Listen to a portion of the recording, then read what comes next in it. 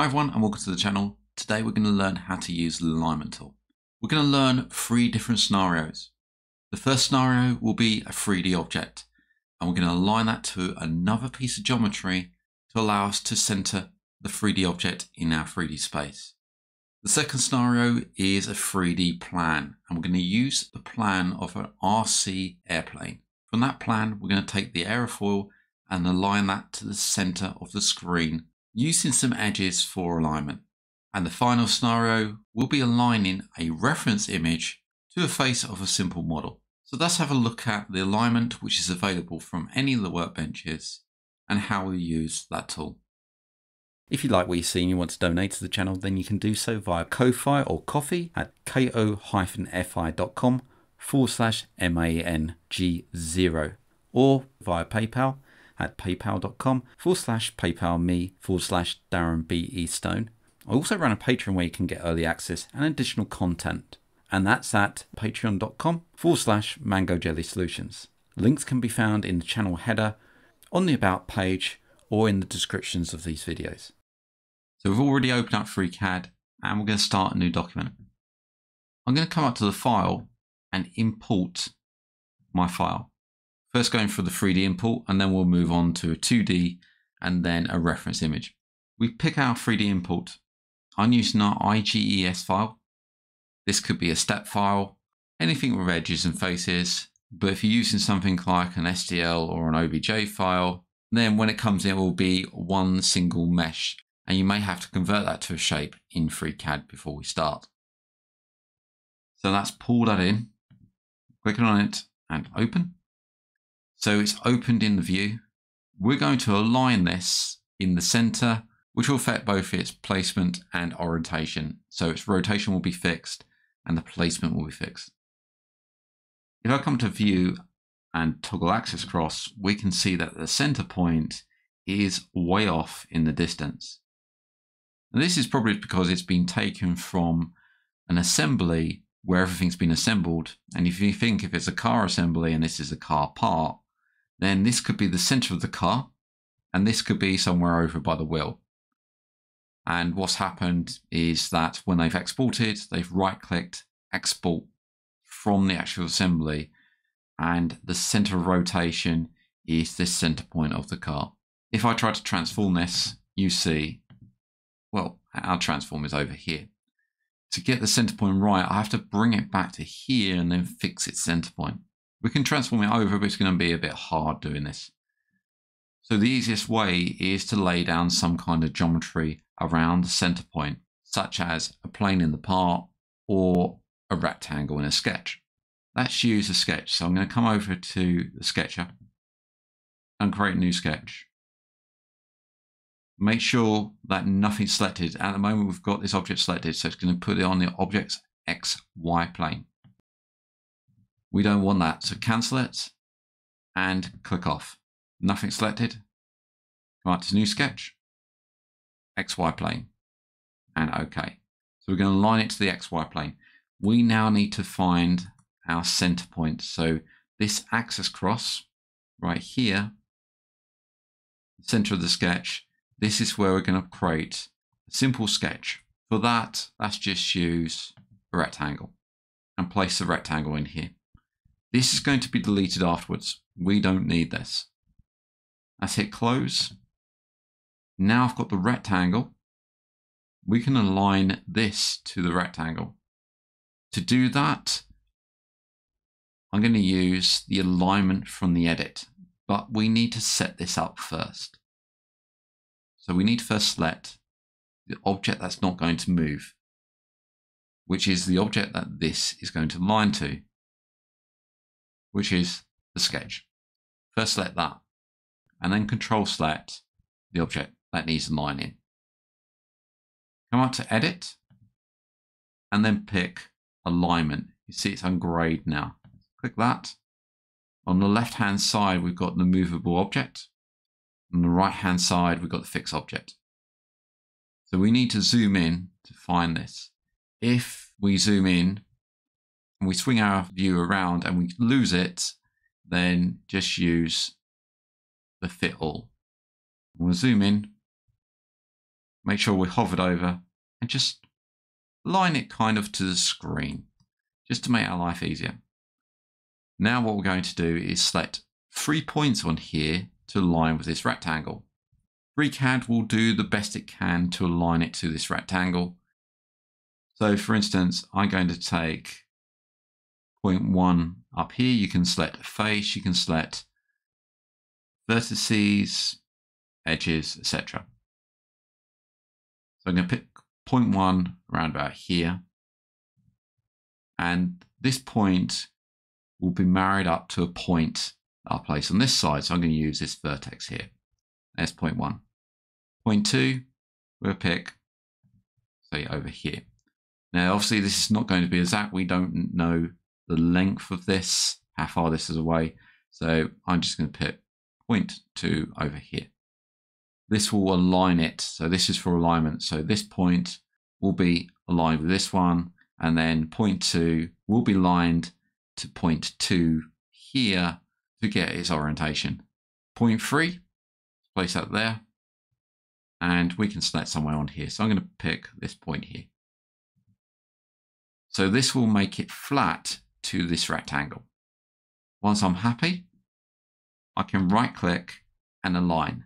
If I make a mistake or want to cancel it, I can use either of these. So we click align. What's happened is that the part has now moved from out here somewhere and you can see it's in here. So that's use the fit all. And we can see how that's aligned to that rectangle now. I can come in and select the sketch and delete it and we're all aligned. But we haven't affected the center point of this. If I click on this and right click and transform, we see that the center point is still out here somewhere. And you can see how that's been aligned. So we would have to get this in this position to align it here. Just okay that. Let's fix that now. I'm just going to zoom in. And what I need to do is come over to the part workbench and create a refined copy of this. The refined copy will also remove any redundant edges on here. So any edges, let's say if we had an edge along here, it will be redundant because it divides two faces upon the same plane. Make sure the object is selected select in the tree view, come up to part, come down to create a copy, and come over to refine shape. The original part is still needed, but now we've got this new part, which I can right click and transform. And you see our center point is now fixed. So now let's have a look at this from a 2D point of view, a 2D DXF file, let's say. So again, I've created a new document and I'm going to come up to File and Import. And this time I'm going to find a 2D document, a DXF file. And this is a plane plan. So we've got this RC plane plan here. It's imported as a number of shapes. I'm going to select the top view and zoom in.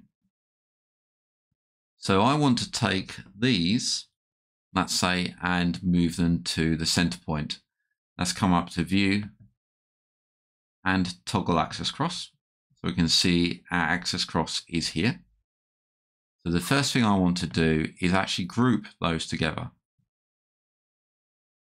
So these here, I just want to create a group for these. That can be easily done over in the draft workbench. I'm going to upgrade all of these because if I select each of these, you notice on the left hand side in the tree view, you can see them as individual shapes. So we're going to upgrade all of these and then go from there. To do that, I need to select them all. Can't edit and use the box selection. So edit box selection and draw a square around the items that you want. See all the shapes on the left hand side have been highlighted. Once we've got those, we can upgrade those. Now we need the draft workbench to do that. So let's come over to the draft workbench. Now I'm in the draft workbench. I can use the modifications and upgrade. See, they've changed to wires on the left hand side here. We've still got them selected. Let's do that again. Modifications and upgrade. We now got a block. So this is a compound of all those edges there. Now there are a number of ways to move these items in the draft workbench. We could use the basic move tool. So modifications and move and use our snapping, but that's key to this alignment. I need something to align it to so we can place down a sketch. But in this instance, I've got this edge here, which I'm going to use. If we haven't got something like this, then we just sketch, sketch in here as before. So I need to pick the item that's not going to move. So that's say this line here. Now I need to select the item that's going to be aligned to it, which is this one here. Just control select it because we've got our block. You see a block over there. So I selected the line and then control selected the block. Again, come up to the edit and alignment. You can see if we zoom in, we've got the movable object and the fixed object. And it's just a case of selecting something on here to align with, say, this point here. So that's select, say, this point here, point one, and select this point here. Move this over, and just for some alignment, this point here, and the endpoint here. Now we can right click on the movable object and align. Now aligned our piece into the center. But again, we've still got the same problem. If I go and find the block and right click and transform, you see that a point of rotation is right over here. okay that. We can take this block and downgrade it by coming out to modifications and downgrade. Let's downgrade it back to wires. So we can see this now, if I click on one, the wire gets selected. But if I right click and transform that, it's still out here. So that's not fixed the issue.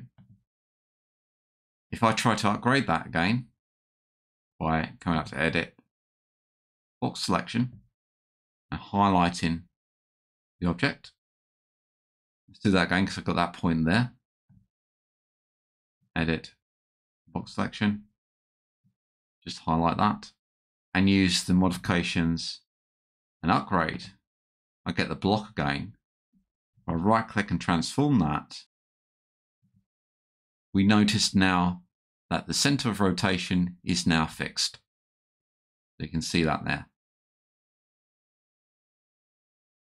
That's okay, that. So now we've fixed this and we can move it wherever we want. So we can actually move that off wherever we want and do what we want with it. Remember, we can downgrade this and remove parts from this from our plan. As well as 3D objects and 2D objects, we can actually do the same with reference images. Let's say we had this object here. I want to import a reference image and align it on this plane here. So against this face. We can't select the face and come up to File and Import and find our reference image and double click it. It will just be aligned to one of the base planes. It won't be aligned to that face. I'm just going to double click it and add some scaling in here using the calibrate. And we'll say from this point to this point is 20 millimeters. So we've got our image. You can see we place it on any of these planes. And if I OK, I can right click and transform. But I want to place it on here. Again, I can use the alignment. clicking on the object, that's not going to move, and then control clicking, take it from the tree view to make our life easier. And this is going to be the object that's going to be moved, the object that's going to be aligned. Again, come up to edit and alignment. Here's the movable object and we need some points on here. So I'm going to sketch three points by just clicking three points. Let's go for four. So we can place more than three if we want to do. Let's go for four as long as we pick four points on this side. Let's come in, pick a vertex and somewhere along here and the other points. First point, it will be anchored to. That's right click and align. And now we've aligned our reference image so we can start sketching in the Sketcher. So I hope you found that video useful and I hope to see you in a new one. If you like what you see and you want to donate to the channel, then you can do so via Ko-Fi or Ko-fi at ko-fi.com forward slash MANG0 or via PayPal at paypal.com forward slash PayPal me forward slash Darren B. E. Stone. I also run a Patreon where you can get early access and additional content, and that's at patreon.com forward slash Mango Jelly Solutions. Links can be found in the channel header, on the About page, or in the descriptions of these videos. I thank everybody that's donated so far. It really helps to keep the lights on so I can produce more content and also expand the channel. Thank you for liking, commenting and subscribing to these videos and I hope to see you again in the next one.